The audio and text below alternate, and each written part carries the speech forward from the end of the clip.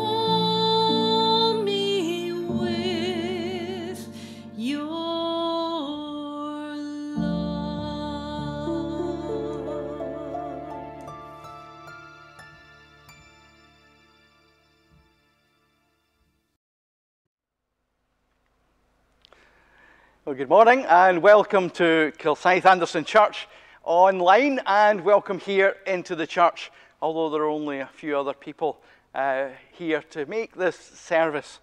And you might remember we've been doing a little series. Uh, we've been looking at faith and hope, and the greatest of these, says Paul in 1 Corinthians 13, is love. Faith, hope, and love. And that's going to be our theme today, which of course is very appropriate given that today is Valentine's Day. So I hope wherever you are that you're being showered with lots of love by those around you. And of course, we know that you are being showered by God's love wherever you are today, and not only today, but every day. We've got lots of special things happening in our service as usual. Uh, but before we head into those, uh, let me just invite you to sing along with our first hymn and join with the congregation when it was gathered before the throne of God above.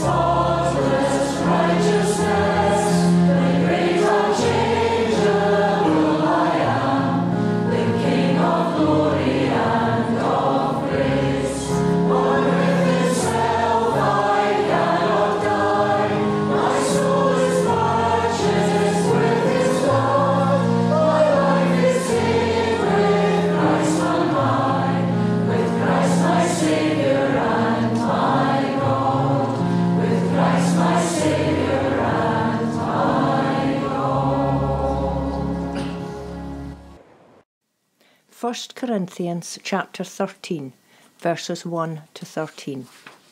If I speak in the tongues of men or of angels, but do not have love, I am only a resounding gong or a clanging cymbal. If I have the gift of prophecy and can fathom all mysteries and all knowledge, and if I have a faith that can move mountains, but do not have love, I am nothing. If I give all I possess to the poor, and give over my body to hardship that I may boast, but do not have love, I gain nothing. Love is patient, love is kind, it does not envy, it does not boast, it is not proud. It does not dishonour others, it is not self seeking, it is not easily angered, it keeps no record of wrongs. Love does not delight in evil, but rejoices with the truth. It always protects, always trusts, always hopes, always perseveres. Love never fails. But where there are prophecies, they will cease. Where there are tongues, they will be stilled. Where there is knowledge, it will pass away. For we know in part, and we prophesy in part. But when completeness comes, what is in part disappears. When I was a child, I talked like a child. I thought like a child. I reasoned like a child. When I became a man, I put the ways of childhood behind me. For now we see only a reflection, as in a mirror. Then we shall see face to face. Now I know in part, then I shall know fully, even as I am fully known. And now these three remain faith, hope, and love. But the greatest of these is love. Amen. Let us pray. O loving Father, on this day when the word love is used so freely and often superficially, you would point us away from these everyday ideas to the fullness of your sacrificial self giving and the love that was shown in Christ and that you share with us. We thank you for the evidence of your grace and love that is seen in your care for us day by day. For your leading and guiding through all the changes and chances of our lives. For your hand upon us to help us walk safely and in accordance with your will. For your support in times of trouble, your strengthening presence in the face of temptation, and most of all, for the gift of forgiveness and new life, which you have brought to us through the incomparable loving sacrifice of Christ, the ultimate gift of love. O Lord, accept our worship and our praise. By your love and grace, you have called out a people to yourself, bringing us into your family by adoption and showering your gifts upon us. We're amazed that you're willing to transform us by forming the image of Christ in us and by the presence of your Holy Spirit, sending us out into the world to share the good news of the gospel and to demonstrate the fruits of his presence in faithful service to the glory of your name. Father, for all who today are living lives filled with your Spirit, we praise you. For those who are giving of themselves at this time of pandemic, we thank you. For the service that they give, the dangers that they face, the sorrows that they have to meet, and the comfort that they share. For the costs they bear, and the exhaustion they feel. Lord, for all these things we praise you. We commit to you all doctors and nurses, all care workers, all frontline specialists, all those engaged in research, and all who work in the face of danger and infection. Lord, hear us. We praise you too for faithful servants of Christ who have to minister in strange situations and cope with unusual and difficult circumstances, finding new ways to share your word, to bring help and consolation, to offer hope and release, to bridge the gap because there can be no face-to-face meeting and where the warmth of a gentle embrace is denied. Lord, we thank you that the gospel is not robbed of its strength and power to meet all human needs by the present crisis. Be among us, and by the power and presence of your Holy Spirit, and in the name of Christ, bring us to the place of peace and of victory. For evidence of your work among us, we give you thanks. For cards and letters, for phone calls and texts expressing love and concern, for deeds of kindness and gestures of love, O Lord, we give you our thanks. Gladly we acknowledge that each of these reminds us of the love that Christ called on his people to show when he commanded us that we must love one another. Amen.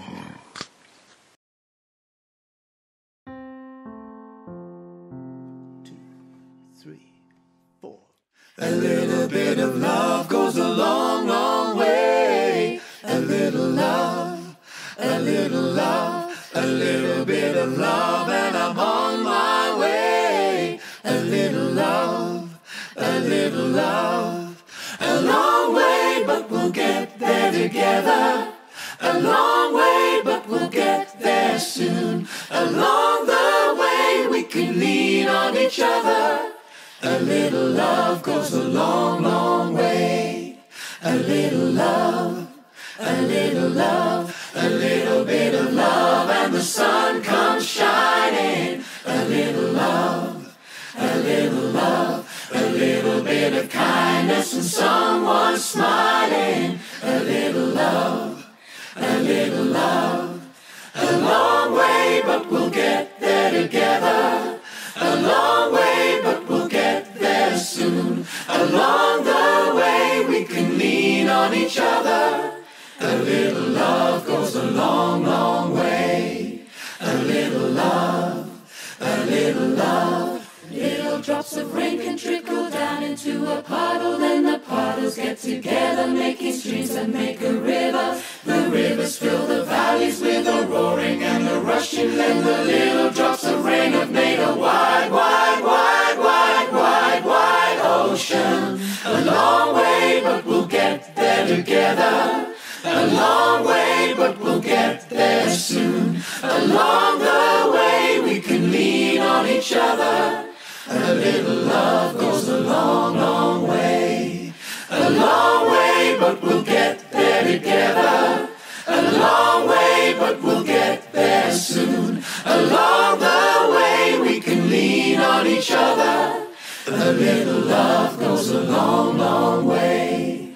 A little love, a little love, a little love.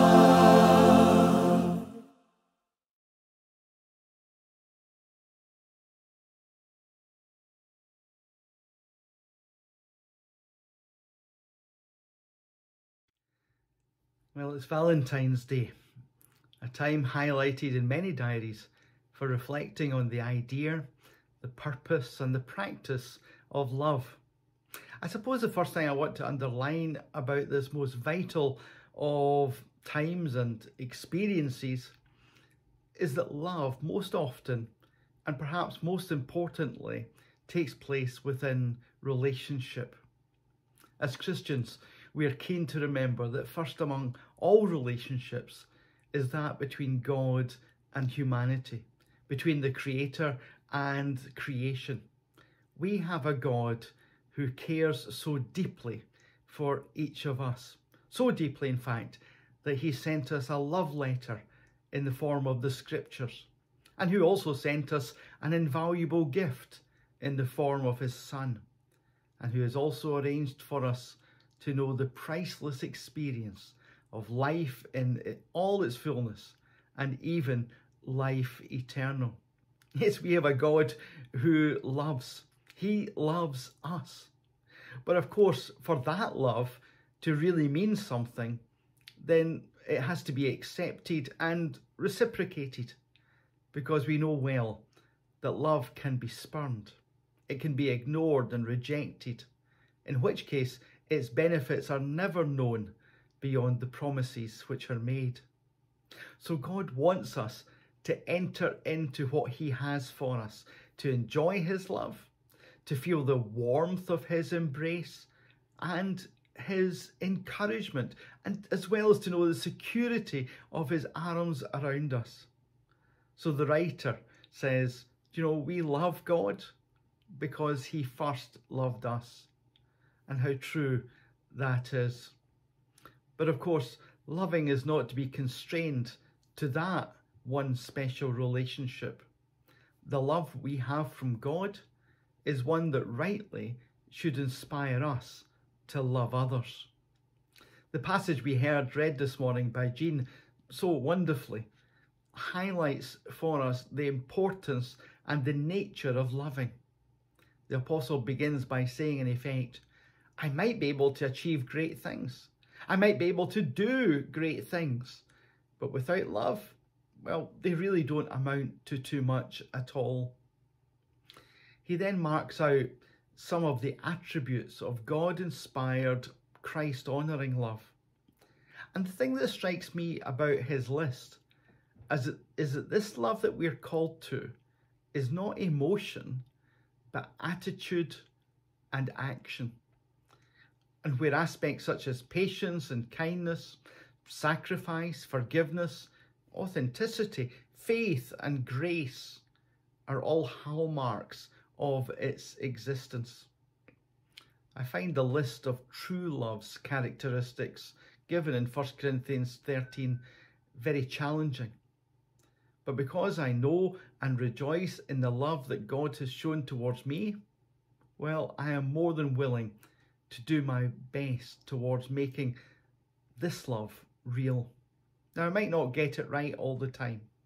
I may fail and falter, but because I know it will make a difference, I will try my very best.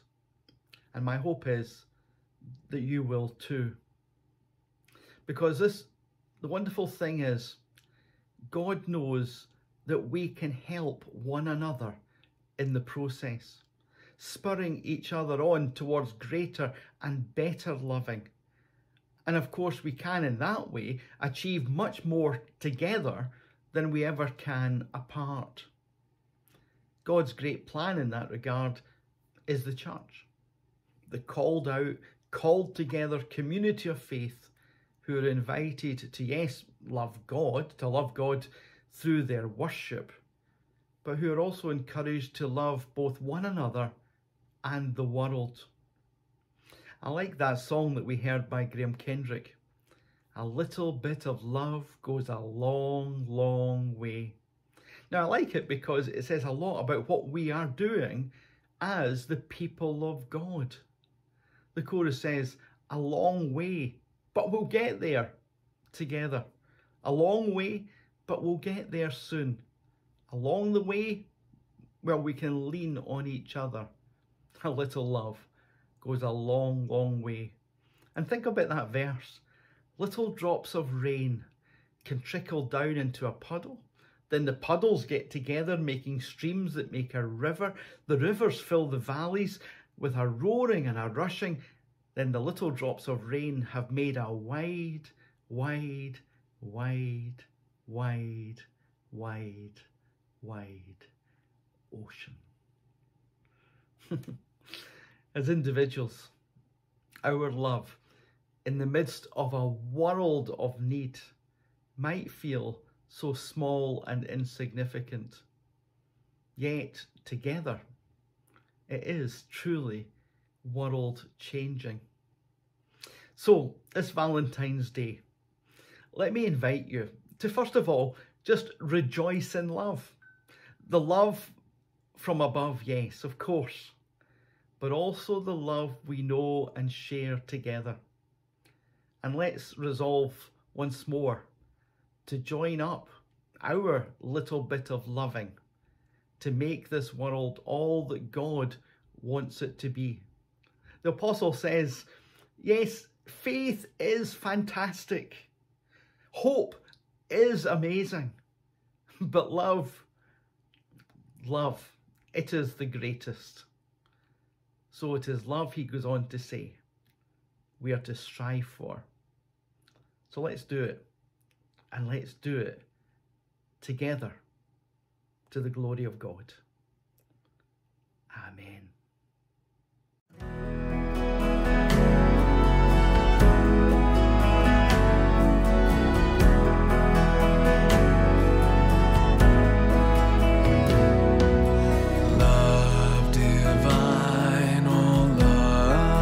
Love's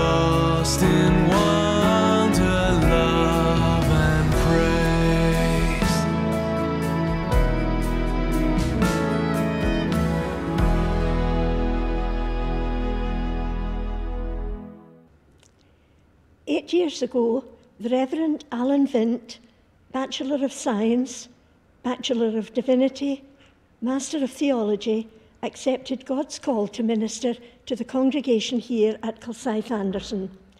A very learned man indeed, but during those eight years, he found the time to study, research, and write his thesis, which meant he gained his PhD degree and now leaves us as the Reverend Dr. Vint. Not to be outdone, Lynn too was busy a head teacher in a large school, studying for her MSc degree. Congratulations to both of you on these achievements. Today, Alan and Lynn, we must say our farewells to you, but unfortunately, not in the, in the way that we would like. Many people are disappointed that they cannot be present today to show their appreciation. However, I have assured them that you have agreed that you will come back sometime in the future when restrictions are eased and we can fill the church with those who want to show their appreciation for all the work that you have done and all those achievements during these years. I don't want to say too much at the moment, other than to say that we as a congregation have benefited from your wisdom, Alan, and good counsel in all things, and of course, your excellent teaching from the Bible. We will miss your cheery smile and sense of humour. I must also mention Lynn, whose keyboard playing when Jan was on holiday and whose beautiful singing will be a big miss to us. The past year has been a difficult one with the COVID pandemic closing churches, the reopening with restricted numbers, and the subsequent closure again, a situation in which we still find ourselves. However, Alan, you rose quickly to the challenge of getting God's message out to the congregation. You began delivering an online recorded worship service when the opportunity arose to reopen the church with restricted numbers you were instrumental in making sure that all safety measures were in place. And in that time also, you received a donation which meant that live streaming equipment could be installed in the building. When lockdown came again, we moved to live streaming the services. We knew that you were good with technology, but your skill in this area became even more apparent at this time. You produced informative, encouraging, challenging, and inspirational services which were viewed by many people around the world. Each week, you managed to include something different. In the early days, the children associated with the youth organisations and the Jam Club were involved with the Minister's Challenge. You incorporated special times, Harvest, Remembrance Sunday, the Advent season, Compassion Sunday. And what can I say about the presentation you put together of the Jam Club's Nativity? I'm sure all who watched it thoroughly enjoyed it and marvelled at it. In that time, too, you managed a socially distanced wedding and baptism. You presented the Queen's Award to BB members and a fitting tribute to the Girls Brigade who celebrated their 70th anniversary recently. I'm sure many of the ladies in Kilsyth would recognise themselves in the slideshow of activities through the years, and of course, we came up to date with four of our brigaders receiving their Duke of Edinburgh's award. Our thanks must go to Lynn, who served as captain of the Girls Brigade for some years. Your guidance and your good humour will be missed. So, enough for now. I'll save the rest for the official presentation. Your last three services have been based on faith, hope, and love.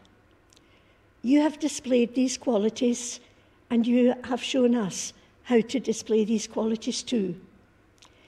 This congregation has shown its faith in regularly tuning in to Facebook, YouTube, or by telephone to the Sunday services the quality and content of which many folks have commented on. They've also been faithful in their giving to allow us to meet our expenses. We have hope that God will see us through the days and weeks ahead and months ahead and bring our current situation to a happy conclusion. I'm being optimistic in seeing days and months and not years as it was the last time we were vacant and be assured that our love goes with you as you translate to your new congregation at, in Mauchline, linked with Sorn. There are no surprises. You've seen the gift before, and there's no surprise contained in the envelope. These are just a token gesture, as we couldn't let you leave without something by which to remember us. Please accept this small quaich, the cup of friendship, and the flowers with our love. We wish you every blessing as you start your new ministry in Ayrshire. On behalf of the congregation, thank you and God bless. Well, Christine, thank you so much for your kind words. Uh, goodness me, it's quite a thing to listen to all of that, but um, thank you. And thank you so much to everybody for these lovely gifts, uh, very treasured. Just to say that, you know, we, we're not being um, pushed away from Kilsyth for any reason. We love being here. We absolutely have loved our time in this church. Uh, rather, we're being pulled away uh, for family reasons. Um, but on the point of family, I would like to make a comment into this congregation as a church family. You really have embraced us right from the get-go, and Alan and I have felt very, very much loved, and you've extended that love to our extended family as well. So um, it's really with uh, such mixed feelings that we set off, But due to technology, we won't be strangers. We'll still be friends. We'll be friends forever. And we're all part of that big one family of God. And thank you so very much.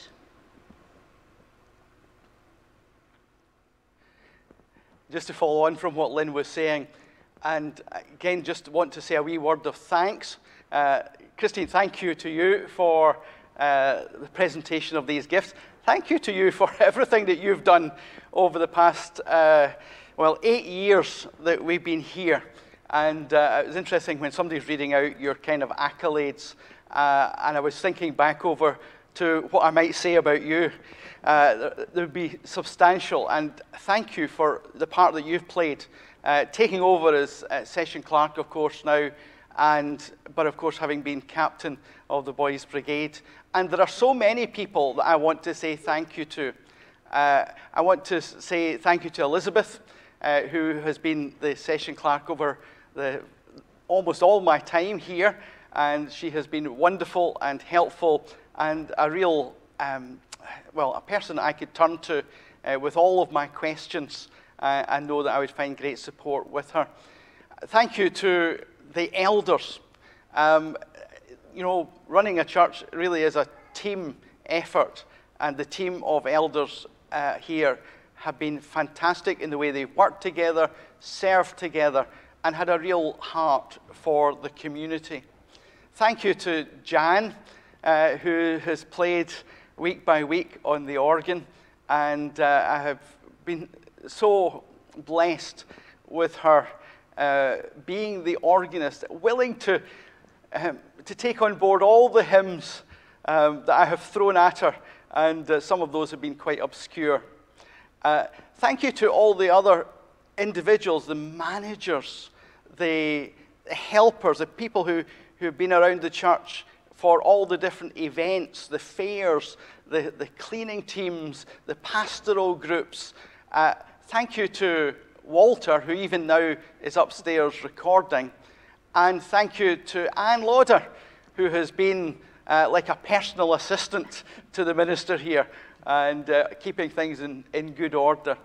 Uh, do you know, those are just some of the names uh, and some of the people who, who feature up front. But of course, there are so many folk in the background, both in the congregation and out there in the other churches and the wider community, uh, who have been a real encouragement, support, and who have given us love. And as Lynn says, we have very much appreciated being part of the community of Kilsyth and district. So thank you for taking us to your heart. And oh, it is with emotion I say, you will always be in ours. So thank you very much. And God bless you. Thank you. Let us pray. On this significant day, we give you thanks for Alan and Lynn, remembering their service here in the Anderson among us, and not least the qualities of loving care that they shared with us. We thank you for the special gifts that Alan has, gifts that have encouraged us and helped us grow in faith, for the fellowship that has deepened and that is such a feature of our life in this community, for us dealing with griefs and difficulties, encouraging those who have been suffering, those who are anxious or those who have been afraid, always pointing away from himself to you, O Lord, the source of all hope. We thank you especially for the work that Lynn has done among young people, exercising the real gifts of leadership and teaching that she has. We feel that we have been greatly blessed and favoured by you in sending them to us. And we're sorry at this time of parting. But we thank you that Christian fellowship goes beyond space and time and is characterized by the special warmth of love. Be with Alan and Lynn in their new life in Ayrshire. Bless them in the new parish as they share more of their lives and are nearer to their daughter and her family. May your hand be upon them. We know that you plan great things for us, for you are gracious. So help us through the coming months until someone new comes to take up the responsibilities of leadership among us. And in accordance with the New Testament, may we know your blessing. See a great work being done for the kingdom, and may your name be praised. O Lord, hear our prayer. Amen.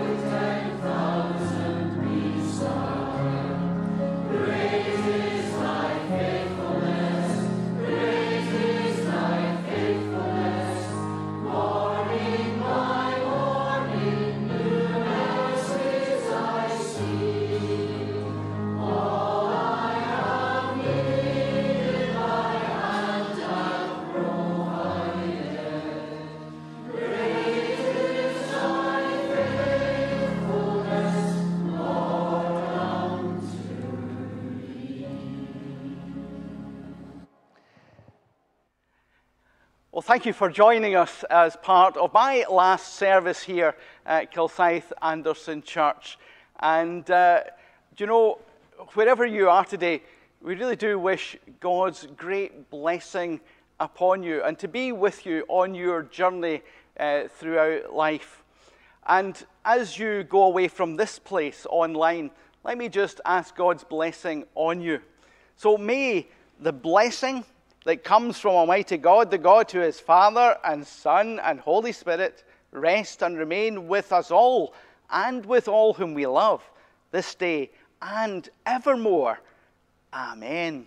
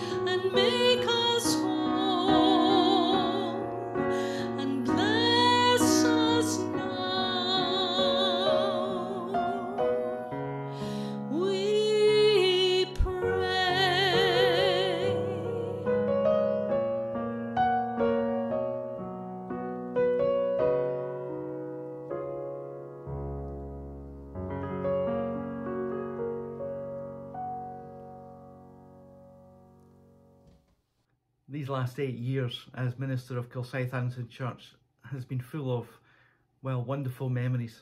Memories of events and occasions but mostly memories of great people of all ages, some of whom are sadly no longer with us. I couldn't finish our time today without sharing with you a few of the images which have been captured on camera. There are, of course, many more special moments that Lynn and I will carry fondly in our memory and in our heart. So as we run through these, can I just say thank you for all of your love.